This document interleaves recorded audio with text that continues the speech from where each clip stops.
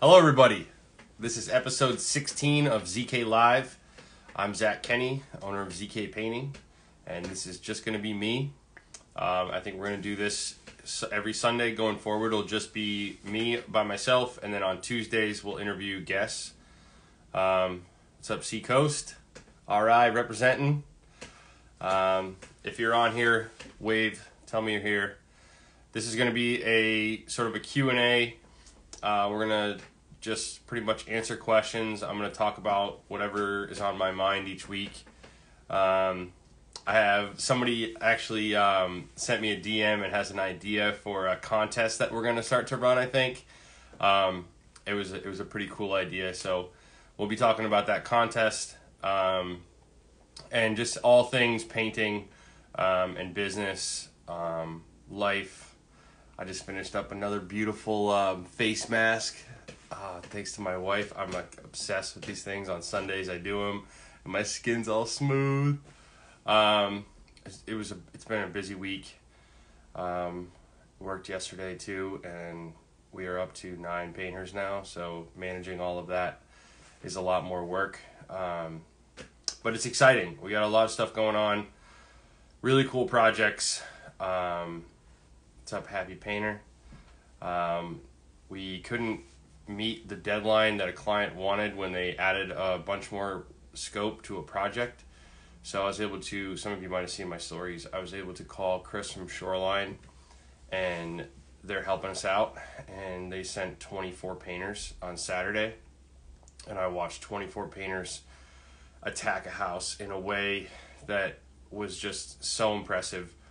Um, I told I texted Chris later. I was like, I'm so glad I'm not in competition with you. We don't. We're not in the same area really, um, because man, watching Shoreline's painters paint uh, was something that was very impressive. It was like special operations, and everyone knew where they needed to be, um, and what was coming next, and where to fill in. And they were all working so hard and so flawlessly. Um, it's definitely something to aspire to um, as we grow keeping people i think there's there's a big there's a tough part of my business where we are trying to do really high quality painting. And so that hu- that like speed can tend to not be there. Um, and shoreline and there's another a few other contractors out there across the country who will who kind of defy that idea that doing high quality work has to be slow and you watch these guys work and they're working so hard. So that's kind of what we're going to be working on in the next six months to a year is like getting even more hustle and getting production faster. As we simplify our systems down um, we're going to be working faster and faster within our paint system because um, right now it's been sort of complex. We've been doing a lot of it's sort of r&d over the years to like get to the level that we're at. Um, and now we're to really try to work to i'm to try to work to make it, it all go faster. Um, again everybody thanks for joining us. Um, put your questions down. I think there's a way you can like put questions in here. Um, i'd love to answer them i have a few questions that people have put up here. Um, so i guess we can kind of start from there. I'm excited for the week. We have a new construction interior project starting. I'm doing ph testing on it tomorrow night and meeting with the client just to make sure that everything is good to go. Tuesday um, what's up wild acres? Tuesday we're supposed to start spraying primer and back rolling everything and hopefully get that done and the ceilings coated and then come back in and put their trim in. Um, so yeah we don't do a lot of and this is like this is not high end new construction. It's uh it's sort of like middle of the road just quality painting you know it's i think it's like a 3000 square foot house like nothing crazy uh, we got to be very efficient in and out. Um, so that's going to be cool. I have a 1223 tip that we're going to be spraying our primer and our ceiling paint with. Uh, if you've not seen a tip like that i'm going to do some videos. It puts out a lot of paint really fast. Uh, so it's perfect for spraying primer and back rolling uh, but you really have to know what you're doing. Um, the pump our little 440 is going to be maxed out there's no question. He'll be running hard. Um, and then we have that job that um, jason god jason i have such this like brain fart with jason and who i called james when i first so we i hired him sort of, uh, and, and just his name never stuck with me. It's so embarrassing. But Jason and I power washed the house last week. Uh, we're gonna start staying in on that house this week. Uh, we have some other painting to do up there too. Um, Tuesday we're gonna load into our gloss project uh, in Beacon Hill, which is really exciting. Um, and then Wednesday, Phil and Hollis are going to be spraying metal on that wall. Um, the builder has decided that he wants to take the risk and wants us to spray the wall as it is. Um, we're sort of recommending against doing that, um, but he said if it doesn't work out, he will pay us to redo it. Um, so we're gonna we're gonna do it. It's sort of borderline the primer is still like having these micro cracks, and there was lots of issues with the plaster the whole time. Um, there's no question button. All right. Does anybody know how the questions work? Somehow I have this little like icon that has question a question mark, and people have um, I have questions in here, but they might be from my story from before. So, yeah, if you have questions, just type them in the comments. Then I don't know I guess that it's just from my stories from before, uh, but I'll I'll answer them if I see them down in the comments. Um, but yeah, so we're gonna be spraying metal this week. Um, we're going for it, and we'll see what happens. Um, it sucks building a trying to build a skyscraper on a weak foundation. Yeah, someone's question just popped up. Um, yeah, Wild Acres just got one up here. So they're working. Wild Acres talk to XC and tell them how you did it. Um, oh yeah, there's a question mark box down there you can touch. There we go. So you guys see the same thing I see. Uh, just I can't ask the questions. Um, so yeah, we're gonna be loading in, making a, a, a plan. We're gonna copy Chris and what they do, um, and we're gonna be putting like sheets of paper in each of the rooms with the process and the, and what's going on in each room. Although it it is all the exact same thing everywhere. So um, we may not put them in the rooms, but we'll put them. Uh, we'll we'll have we're gonna have a plan, a very set plan. Um, we're lucky though; it's we're only doing one product, one color on this project. Um, it's a whole bunch of high gloss, uh, Hollandlac Brilliant in uh, piano black. XC said, wondering if Armstrong Clark oil you use for hardwood decking is similar to Penofin in usage. Was wondering because we have to wipe Penofin. Uh, yes, it is similar to Penofin. Um, that's why we use if you see that that video. That's why we use those stain pads. But we did wipe, uh, we did wipe it off of all of the the railings. Um, that that's the most time consuming part of the whole process with the hardwoods, is you're applying this thin thin amount of stain. So for the decking boards, the stain pad is so valuable because you're able to spread it so much better than you can spread it with a brush that you don't have to go back and wipe, um, which is amazing. Um, we used to wipe all of our decks until I found that stain brush. Um, Shoreline makes it. There's a few companies that make them. It's a very thin, very thin um, pad that goes on a handle. Uh, there's a video that's has a bunch of views now at this point. I mean, I'm wearing my Flofers. People keep asking me if I'm wearing Gucci slippers. Those are not Gucci slippers.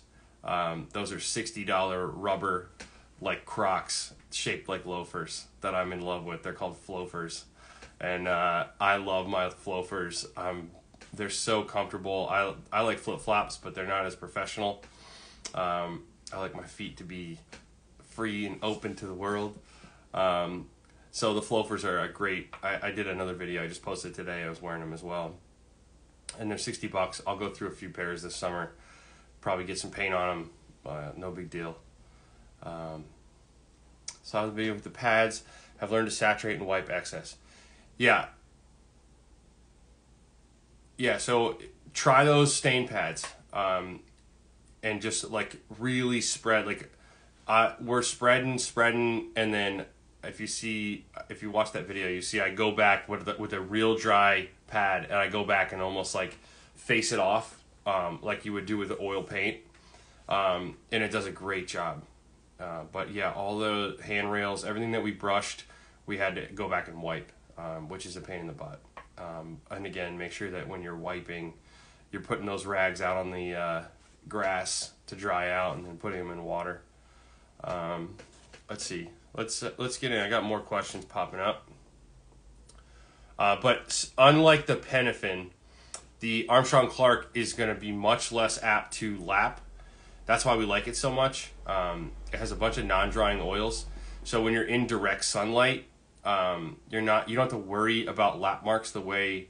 Uh, in my experience, it's been a while since I used Penofin, but I we've used Penofin in the past. Um, we've used Messmer's in the past. Uh, they're both oil. That's good, but they do lap. They have a tendency to lap. Um, and the Armstrong Clark is really, really nice in the way it's very forgiving with lap marks. Let's put it that way. Um, yeah. So I'm gonna start answering questions. Um, the job where you where the contractor will not hold you to it. Do you put that in writing? The job where the contractor will not hold you to it. Uh, no, we don't put that in writing. Um, this is uh, it's definitely like um, I should like if I was like I should put it in writing. Um, maybe I'll put that in a text message. That's a good point. Uh, the guy's he's a stand up guy. They're uh, old school. You know, there's a couple contractors we work for. That actually that new construction that we're starting next week is that is the kind of guy. It's like it's a handshake agreement, and it's it is like that's everything. So I, am gonna still send him a thing, but a few of these guys you develop these relationships, and they're just like the old school guys are much more like man of their word. Like whatever you say, just like they're just gonna do the right thing. Um, but I definitely have a, I tr- I'm a very trusting person, and I think I could probably ha- be better with stuff like that. Um, that's funny. He said I trust nobody. I should probably send him a text message, just like, "Hey, for the record, can you just please say say okay to this?" But really, it's like it's a it's about the designer.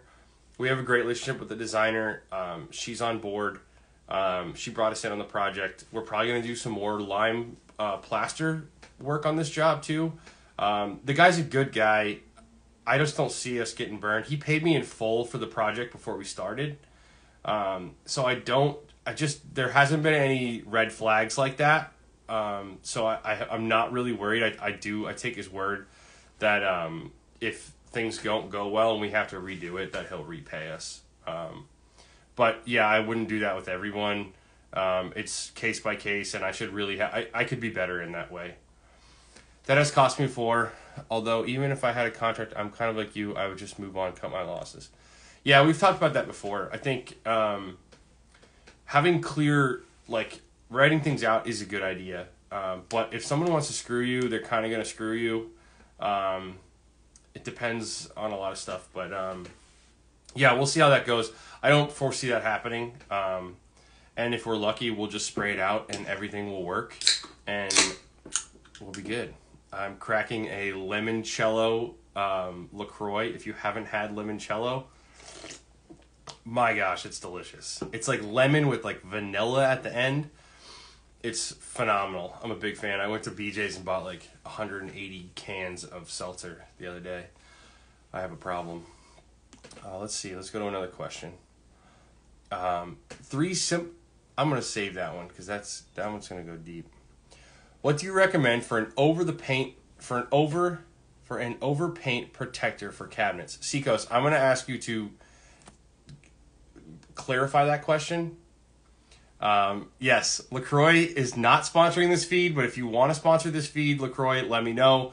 You, I'll send you my address, and you can send me plenty of this. Um, I also I'm a really big fan of the key lime pie Lacroix. The lime is okay. The key lime pie is phenomenal. Um, back to these questions. Again, Seacoast, if you're still here, uh, what do you mean by what do you recommend for an over the paint protector for cabinets? Um, I'm guessing you're talking about a clear coat. Um, in which case, I I know guys do it. I've heard um, differing opinions on it. We don't apply clear coats over our paint uh, as a general rule. I'm not sure I've ever actually done that. Um, I've heard horror stories. I think Jekko was on here and mentioned um, when people who are using like a, a tinted pigmented primer and then putting clear coats over the top, how that can really mess with the color if you're not putting the exact amount of clear on every surface afterwards. Um, so I would be careful. Um, I will say that if you're looking for durability, uh, and someone asked me actually to talk about um, paint and get a little bit more like nerdy onto the paint stuff. Uh, we did a little bit with Jecco, but we can get into it more. Um, there's sort of the chemistry and coatings and the different types of coatings specifically for cabinets. Um, the gold standard is is a what is called a 2K poly or it, it's a 2, 2K refers to like it's a two part. There is an A and a B and you mix them together. So when someone says 2K something, it's it's an A and a B mixed together. Um, poly is polyurethane. Uh, you might we like to I like to say 2K urethane sounds better. You know, polyurethane people think of as a clear coat for floors. Um, more as at least what I think of, and it's you know when we tell a client we're going to use a 2K urethane, um, it just sounds a little bit better. But that is the gold standard for durability. Um, as far as I know, that you're not going to find a more durable coating than spe- specifically solvent based. A solvent based 2K urethane is as good as it gets. Um, Water based 2K urethane is slightly less durable, but I essentially you can just put them in their own category. Durability is right there. Um, Fine Paints of Europe oil enamel is actually right on line with um, water-based 2K urethane. There's been some like I've seen some third-party tests where Hollandlac, when it's cured, has the durability of a water-based 2K poly. Um, from there, you you the next step down is then conversion varnish. Conversion varnish um, doesn't have the durability characteristics of a 2K poly, but it's it's pretty durable. Um, that's the closest thing to 2K poly would be um, conversion varnish. It, that's probably, I believe that's primarily, that's that's the main coating on cap custom on on cabinets that are being produced today in America. Um, if you buy cabinets, higher end cabinets from a cabinet manufacturer, you're probably gonna get, um, oh yeah, polyesters. That's another beast I don't know a ton about. We've used polyester primers in the past. Um, I know that it that's a three part product. Um, polyesters are they have they're not good for exterior though I believe right they're we'll have to have someone come on and talk about polyesters. I don't use a ton of them. Um, I'm not sure how they rank actually. But I know we've used it and I know that there's three parts and two of the parts if they're mixed will like explode. So it's it's it's a very dangerous product. You don't want to just like play around with it um, and you want to make sure everybody knows what's going on. Yeah, polyester is not good for exterior. Um, it's a very high solids product. I know that. That's what we've used it in the past. Uh, that pool table I posted actually recently. Um, we used a isolator. Uh, we sanded to bare wood. We used an isolator, and then we used a polyester uh, primer, multiple coats of polyester primer to build up. Uh, that was a deep, deep oak grain. Um, yes, cobalt peroxide. Don't mix those together because you're gonna you're gonna have some uh, issues, right? Um, polyesters, I feel like polyesters are, I don't know, I don't know a lot of people who are using them. Um, I know that a, there a lot goes into that. A three part when things are going to explode. Um, I don't know. I, I I would like to hear from someone who uses a lot of them and and why. I know they have a very high build. I know when people are doing gloss and they're going to polish, they like to use polyesters. Um, but again, not good for the outside. So when we're doing an entry door and we're doing fine paints of Europe, um, you know, you're not going to be doing entry doors in polyester. Um, great for building hardness. So yeah, you have conversion varnish. Um, that's that's good. Um, it's not great. Um, from that, below that, there's like pre-cat lacquers, um, and or post-cat lacquer, I guess, would probably be the next most durable. Um, it's still a two-part, and it's gonna you mix it together. Um, again, anyone of you guys who wants to correct me or add more information to this, please do. But I don't know who Nick P is. PD. Nick PD, who are you? You're requesting to join. Um, I, I'm just not to let people on I don't know. I'm sorry, man.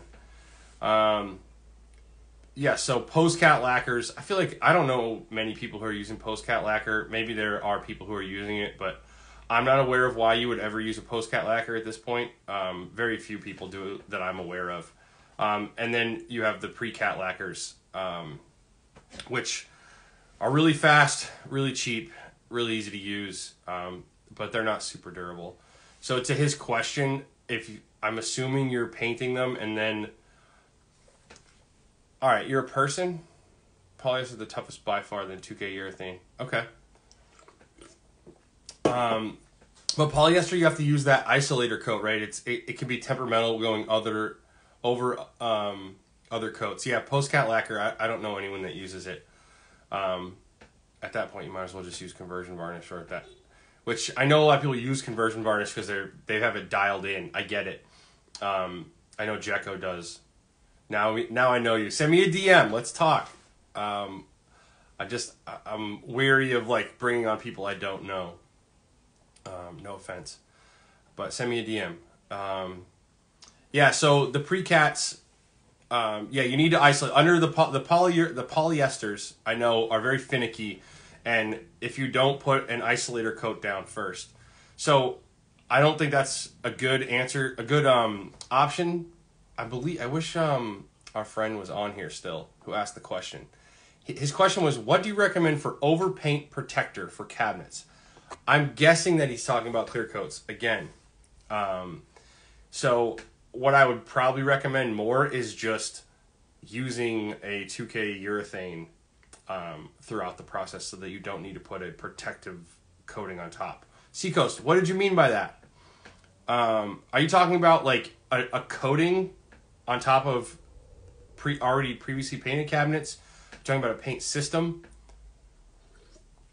I'm not exactly sure, but use it if if at all possible. I would recommend using a 2K urethane um, process when you're looking for durability. We use it primarily like we don't go below 2K poly. Like we're either so I build cabinets for my own house.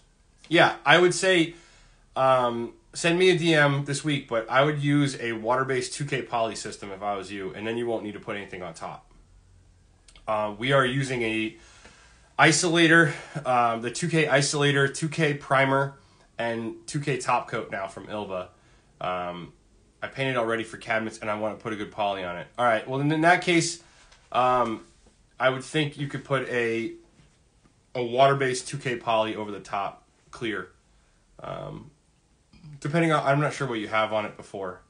Um, yeah, poly poly feels good. It, it depends, man. I, I so oil enamel to me is the gold standard. There is nothing better on cabinets than oil enamel, good oil, um, fine paints or something like that. Um, oil enamel, you want to talk about feel? Oh man, there's nothing better.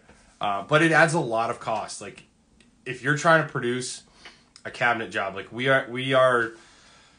I mean, I'm four hundred and twenty-five, four hundred fifty dollars a a, a door, drawer, or panel um, on a gloss oil job, um, generally, like it's really expensive to do um, gloss oil. Um, satin oil is still it's still like fifty percent more than a two K urethane. So it really comes down to clients like aesthetic expectation because I think we've seen that a water based two K poly and fine paints of Europe oil enamel um, are going to end up with the same durability at the end. So if you take a sample board of the two of them and put them next to each other, um, I would argue that the oil is going to look better. Sal says, I usually use emerald urethane hybrid paint on cabinets, and I usually do not poly over it. Um, yeah, all right. So then that's fine. And, and it, man, like, I get it, and if that's the market that you're in, and that's what the market can bear, like, there's nothing wrong with that. Um, gener- I mean, yeah.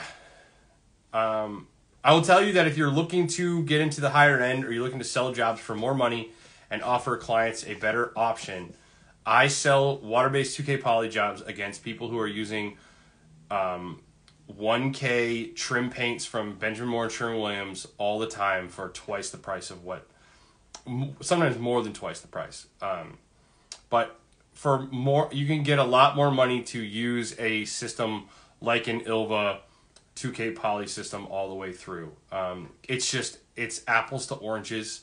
Um, I know that there's plenty of markets where the clients just can't afford um, sort of the the higher end option of a water based yeah, then if you're getting that kind of money, man, I, I don't think I think you're doing your clients a disservice by not using a water based poly, two K poly.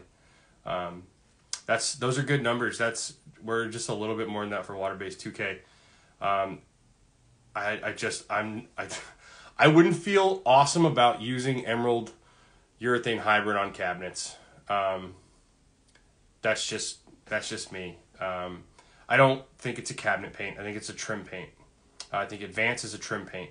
Um, cabinets, I, I think, again, it comes down to budget. But if clients have the budget, I, I believe we should be offering them a paint a coating system that's more robust than what we put on the trim that comes from the, the paint store. Um, Benjamin Moore, and Sherwin Williams have lots of good paint, but cabinets, I, I don't know. That's just my personal like. There are some amazing products out there. I mean, there's plenty of guys who are using 2K poly um, on trim, right? Like it's it's tough. I'm not in I'm not in certain markets, but I'll tell you if you're getting that money, a I think you can turn around the job faster. I mean, I know you can. A water-based 2K poly system has a lot of advantages in that in its dry time. Um, we put infrared heaters on stuff, and it's cured. You're you're you're cured overnight, and you're packing stuff up and moving it to the job without any worries. Dark colors doesn't matter. We sprayed a job.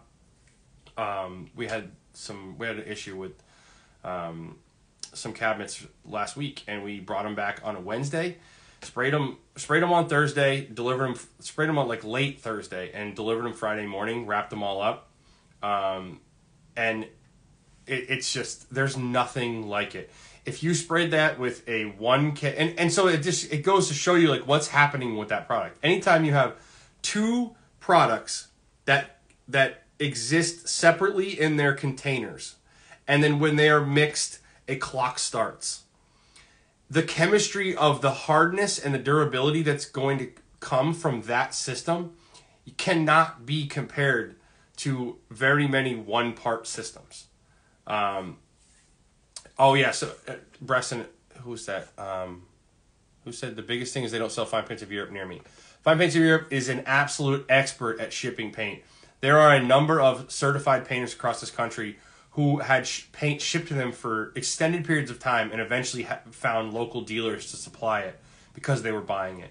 So I would encourage anyone who who sees that as a roadblock to call Fine Paints of Europe on Monday. Talk to Emmett or Charlie; they're amazing, and they will ship you out paint like this. I know there's some guys on here.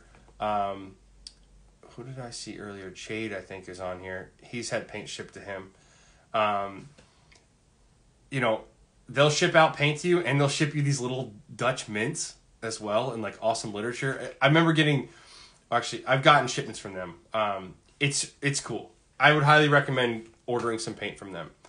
Uh, Bresson asked about lacquer. Um, we talked a little bit about that. Pre-cat lacquer is a yeah. Turner and Bresson have both had paint shipped from them.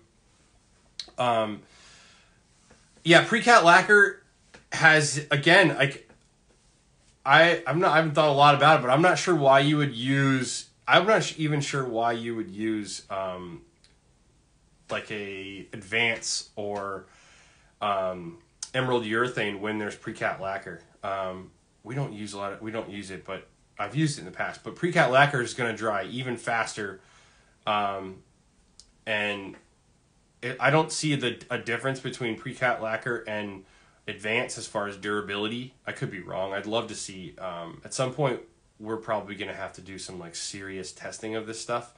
Um, just to like have the test as part of like the show, we'll start to do some tests. Um, send me suggestions for for uh, like actual A/B tests that you guys want to see. Um, oh, you know who probably has this answer is we could go on Eric Reason's YouTube right now and we could probably find out durability of a pre-cat lacquer versus a advance. Um, maybe if he doesn't have it, we should all like implore him to do it because he's really good at that stuff. Um, yeah, like we just, uh, I'll tell you that I just out I, I sell projects for way more money against guys who are specking inferior inferior coating systems to our coating system on a regular basis. But that's because we're in a market where people want really good, they want quality.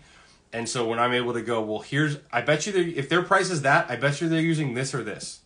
That was a John Shearer technique that uh, he taught me. Uh, we're still I'm working hard to get him on this show because that is an impressive man. I love my talks with John.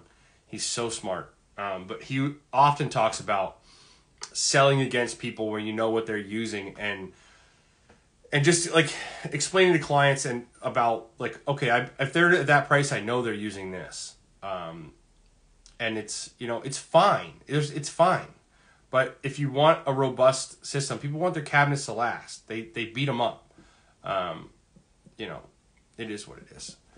How does 1k urethane like envirolec rank in your books? Um, i mean i think the 1k urethanes i i don't i don't know a lot about them i just don't know why you would use them um, you know, for add the hardener in and but again, I, I think the a 1K urethane is is like it's like using Advance or Emerald but having faster dry times. So if nothing else, just upgrade to that and you got and you'll make more money and you'll have a quicker system. Your clients will be happier um, because your dry times will be faster. From what I understand, the 1K uh, urethanes from the uh, Italian companies have real fast dry times. Um, it's like bringing a Ferrari to an old car show. I don't know what that I lost what that reference was too, but um, Ferraris are awesome, right? I've been working seven years in residential painting in Manhattan, but have never seen a paint job like you, man. Great job, keep it up. Thank you. That's funny you say that because there are a lot of guys in Manhattan that are doing unbelievable work. Um, you may just not have been on the right job sites. Manhattan has some like like unheard of gem companies, just insane talent. I mean, there's obviously massive money in Manhattan. You know, people with 20, 40 million dollar uh, apartments, and they they want their houses painted. There's a guy actually we should get on. Um, oh man, Sterling Coates. I'm gonna see if I can get Sterling Coates um, on. They do a ton of work in Manhattan, and they they're just like again, these, anytime you can get a large amount of painters to work really efficiently, it's it's always very impressive. I've I've spoken to him before, and they have these like windows in Manhattan when like everyone goes out to the Hamptons for like the summer, and they want all the work done, and they have to do a ton of work in this short period of time. Uh, Manhattan's a crazy market.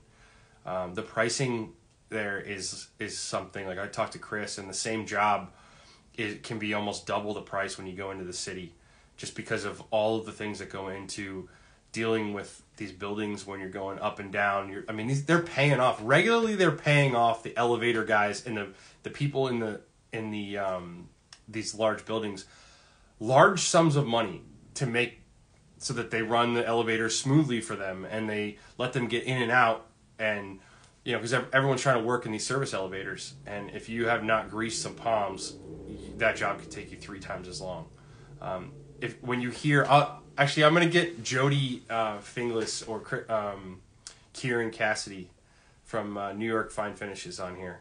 Those guys have some unbelievable stories of like what it's like to work in Manhattan. Um, I can't imagine. Like, Boston's tough, but it's nothing like Manhattan. Um, uh, yeah, it, I would suggest trying a water-based 2K poly. Um, I'm going to get to Jake, your question. How many people? We have nine painters right now. Um, how do you determine your price for the new construction project, square feet or man days? We have, um, I've moved to a square foot um, estimating for new construction.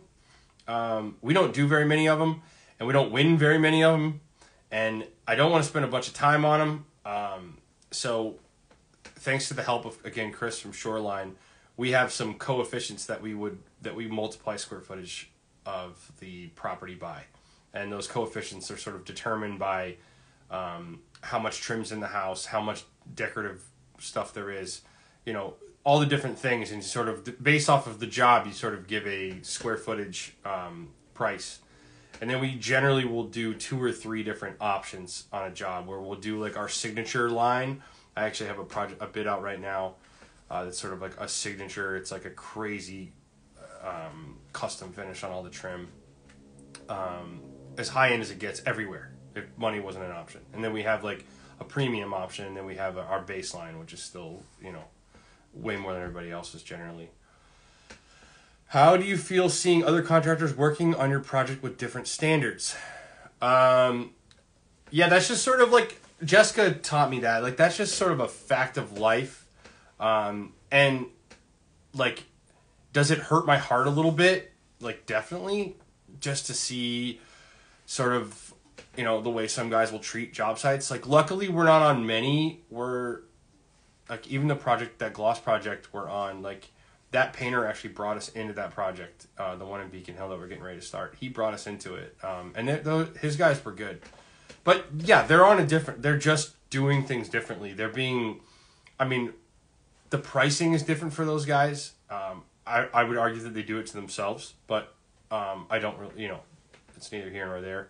Um, yeah we see guys doing some really crazy stuff. Uh, i've been on jobs uh, where it's like like especially with Jessica when she's I've I've visited her on jobs. She's always on jobs with other painters, and and you, like she's constantly like saving them from themselves, um, trying to like you know you just see some crazy stuff. I mean everyone's seen it, uh, especially in the city. You'll see some crazy stuff, but um, I think you just got to keep your head down, focus on what you're doing.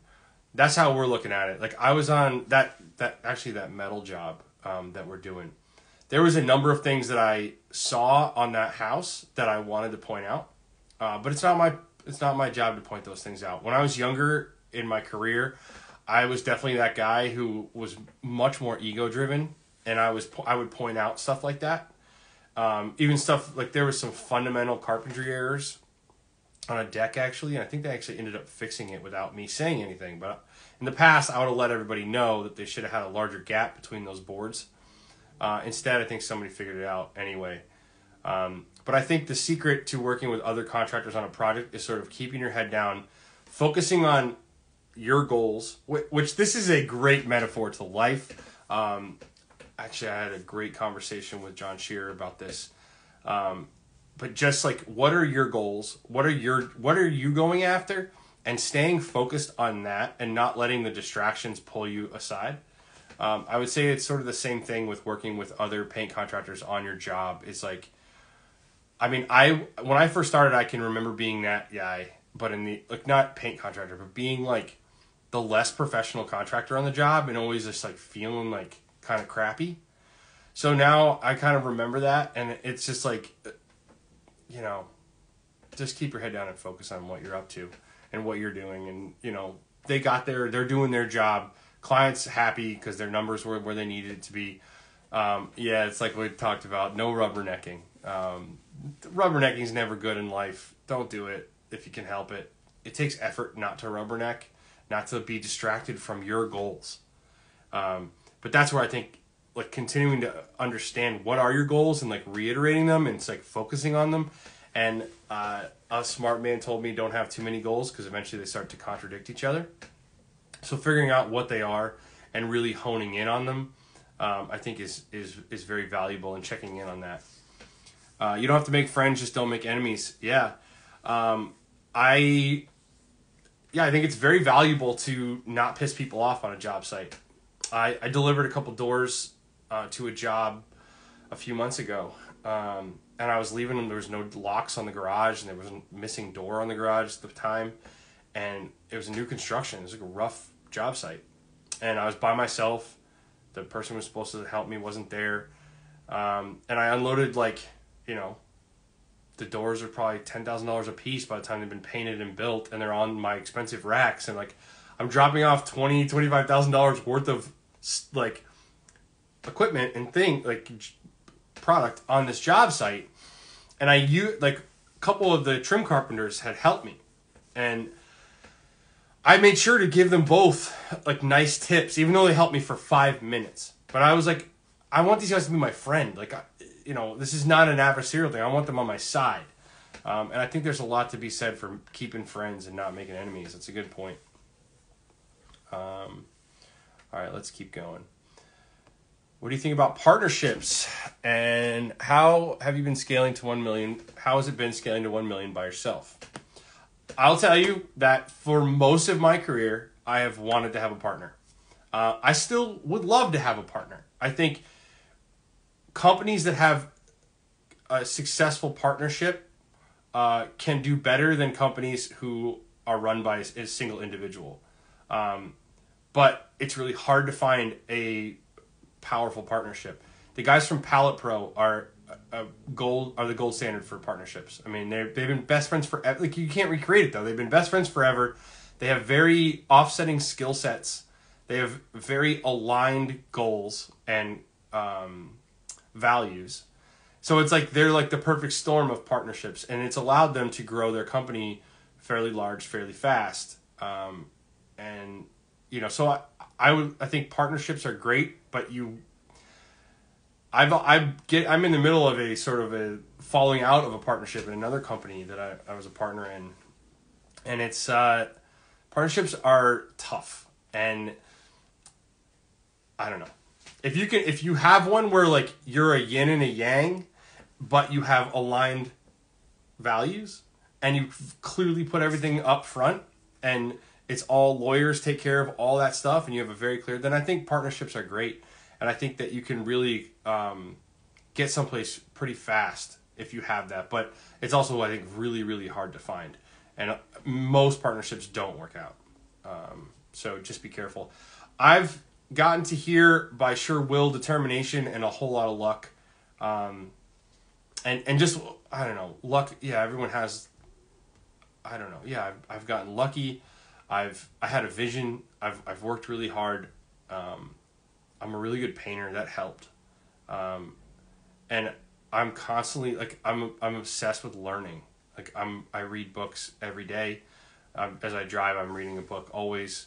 Um, I'm I'm listening to podcasts. I'm talking to people. I'm I'm trying to learn and get better every day.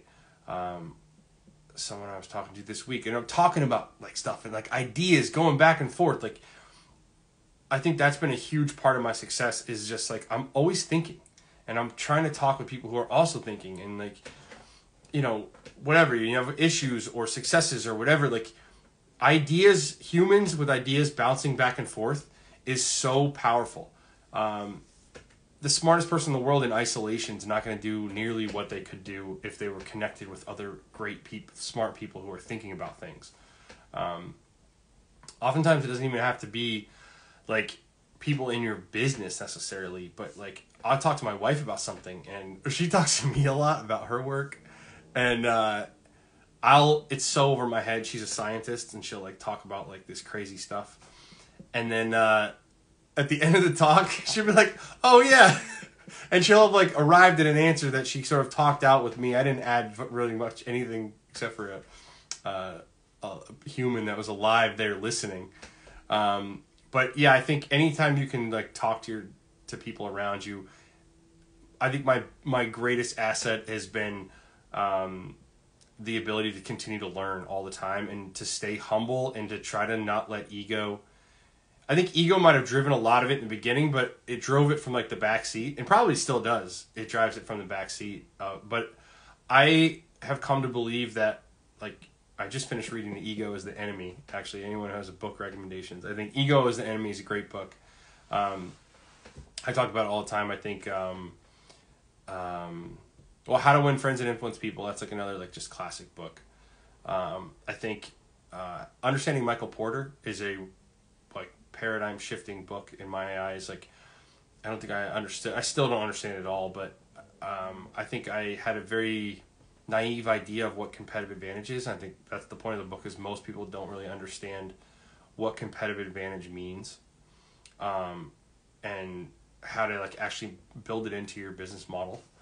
Um, I like the idea of thinking about our small companies and, and looking to the big companies for guidance and like how best practice, uh, because the big companies have gotten so many things right. Large corporations are incredible at running businesses, right? They have thousands and thousands of employees and they run and they make profit and they employ people and it's like I have 9 people and it's that's incredibly difficult. How do you do that at scale? Well, it comes from having a bunch of very sound business practices.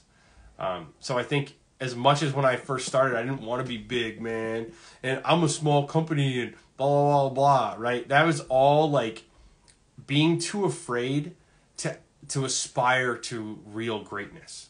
Um, and when you see really successful paint companies, and at the end of the day, it's reminded to it's, I get reminded a lot. A successful paint company is one that makes money and has happy clients, right? And it has happy employees. Like, but why? Are, you're in business to make money. Uh, I think I've missed that for quite a while. I'm working on it. Um, I think that also helped me get here. Is I was not super uh, greedy.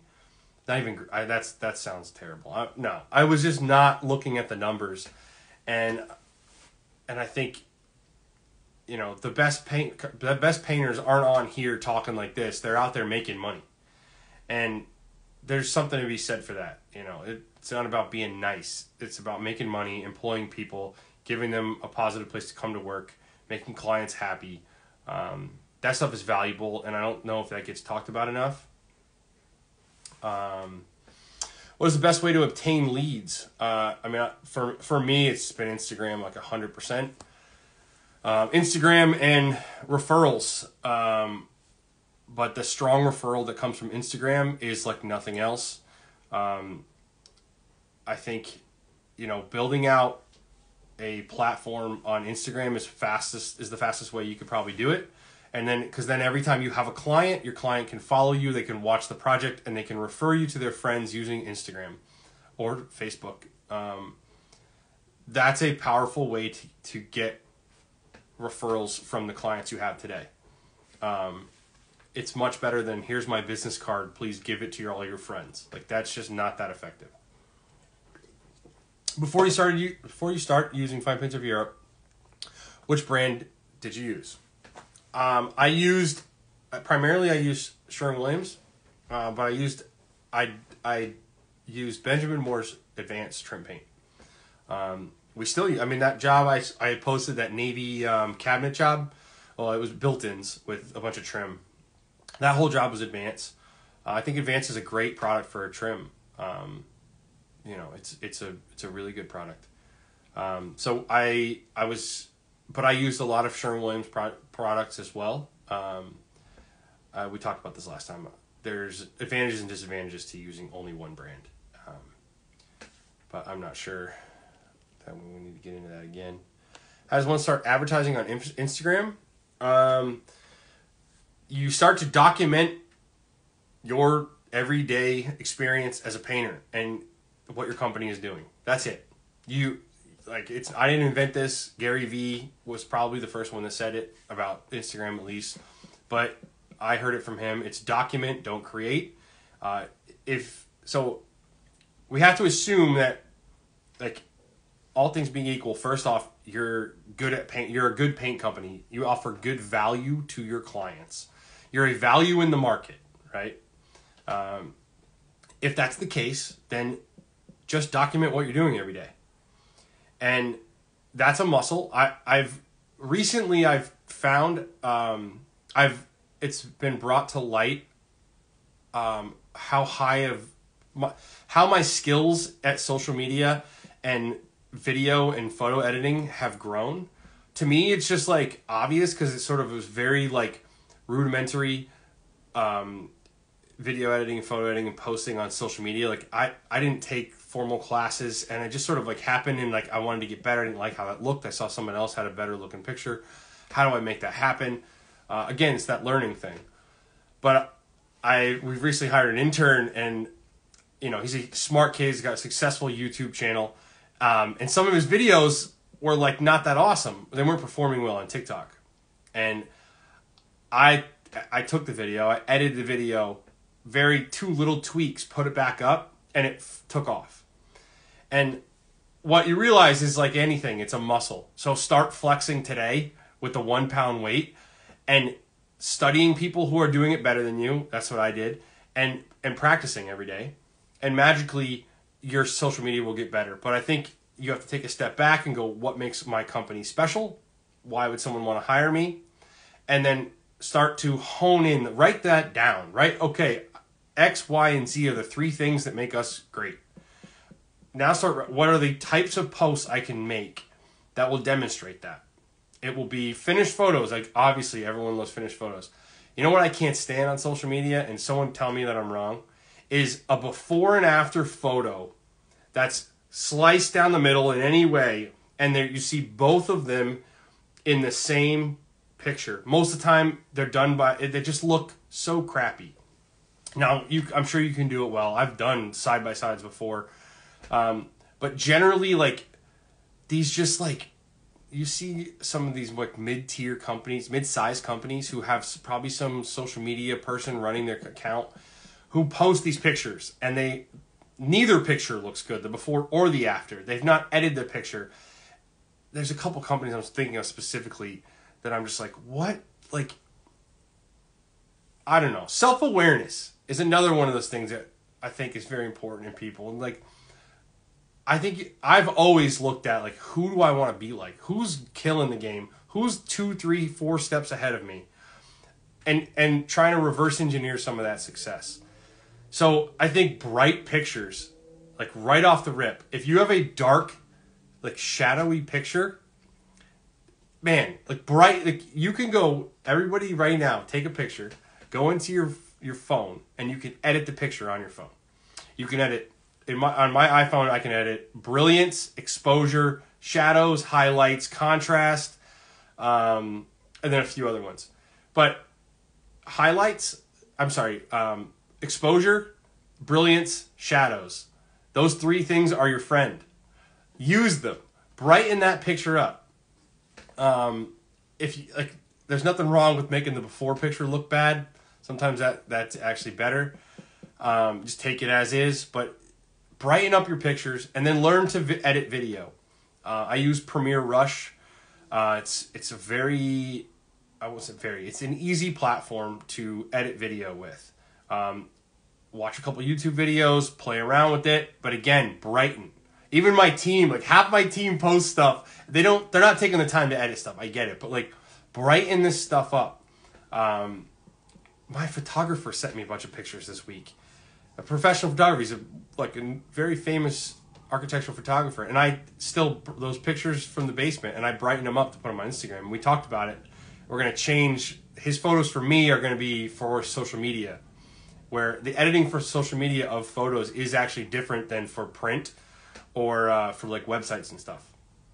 So we're gonna shoot in a square, and we're gonna brighten up. He was saying like he like it's funny to hear like a professional photographer. He's like, yeah, that washed out look uh, that's so popular. I'm like, yeah, you can call it washed out. You call it what you want, but it gets attention.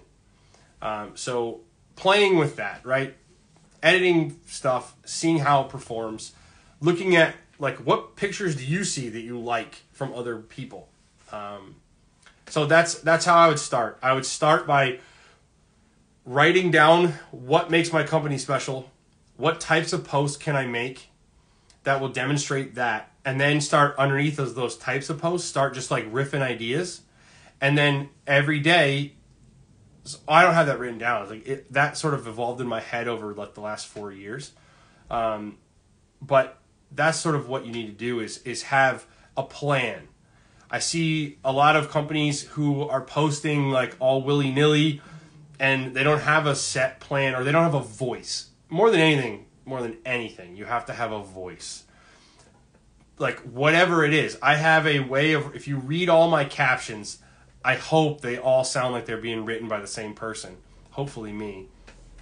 Um, but I there's there's just my who I am. Yeah, Phil, you are the shadowy team member, but so is Dan. so is everybody. But that's just taking it one step further in editing especially on your company's page, especially on final stuff, but on anything, like brighter is always better on social media. Um, tell me I'm wrong, but I, I think I think that that's that's a general rule that you can stand by. Um, I just lost track of what I was talking about. Um, I'm not going to say their names. I forget their names. Um, but I know I, I know a couple, I know them. I know about them. I can tell you different things about them. Uh, but I know they have some person in the office who's doing it and the the boss doesn't really think it's that important. No one's sending her to training or him to training. Like it's just a thing that someone told them they were supposed to do, so they do it. Um, but if you want, oh, that the question was, how do you start? Um, oh, and and if you're posting, I would suggest never posting a single picture. If you go back and look at my feed, I, I cross my fingers, but I I bet it's been a very long time since I posted a single picture. Um, anytime you if you post multiple pictures in a carousel, Instagram will quite often po- like they'll feed you my pic my post, you'll see the first picture. And then later in the day or some other time, they'll feed you the second picture in my carousel. So that same post will hit somebody twice or three times like so not doing single pictures will help you get more engagement. Um, video will get you way more engagement than pictures, hands down. That, that's not even like, a, a, I mean, it's not even close. Um, you have to have the most. If you look, like I had a, a post this week that that cabinet job um, has almost a thousand likes. That if I look at my engagement numbers on that post, that's like a top, top, top post for me. Um, the engagement numbers on that picture are nothing like my average video posts. Instagram rewards posts that keep people on platform. All social media does. It rewards posts that keep people on the platform. Instagram likes when people stay on Instagram. So if you make content that make people that keeps people on Instagram, Instagram will feed it to other people. I have posts now that have hundreds of thousands of views because something about that post. If you go look, I've been I've been very interested in this. I made a post today, and I purposely made it a minute and five seconds long. I wanted it to go to IGTV because IGTV videos are getting fed up to people for much longer. I have, I mean, that the video of me building that table, the complete video of that me building that table, has over half a million views now. It was being served up to people for well over six weeks. I was getting, I would go to my feed and there'd be a bunch of likes from that picture four, five, six weeks later. Um, and and it was just steadily trickling up. And so IGTV is being rewarded now. If you can, and then the cool little metric that you can see in IGTV is um, percentage um, watched, the percent watched. If you can get a video over 25, 23, 25, I've had a couple, I, the, the video I had that went to a million views had like a 33% watch rate. Um, the one that went to 500, I think, had like a 28 or something like that percent watch rate. The one I have right now has like a 20, or no, has 23%. And that's at like 160,000 views and it's still going weeks, well, not a couple weeks later, I think. So video is going to reward.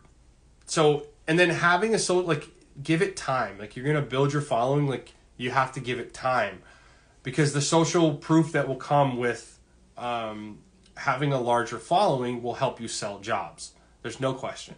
Um, document daily with informative caption. Tag your location, location you want to target. Yeah, tag your locations. Um, we'll talk about hashtags.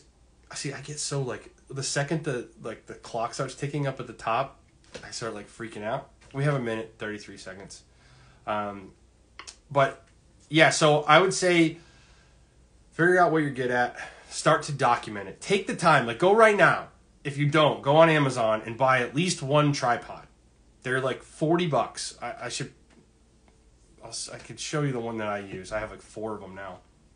They're not expensive. Just have a tripod with you. Like I just posted that video today. I'm about to stay in a deck. It's like, no, just stop for a second, set the tripod up, set the camera, turn it on, and move the camera around as you work. Like it's a little thing, but start to do it because once you do some stuff, like we missed out on a, a couple things. We've missed out on some stuff before, and I'm like, no, like that was that was gold content that we can never get back again. We should have a show just on the subject. Well, we can. This is like one of my most one of my favorite topics. So we can just the next hour I could just riff on this and you keep asking questions for a while. Uh, although I should answer the other people's questions. Maybe we will next week. We'll go even deeper. Um, but there's 30 seconds left again, thanks for watching this far. I'm going to end it real quick. I'm going to pop back in and we'll just keep talking. Um, and we're going to talk about hashtags in a minute.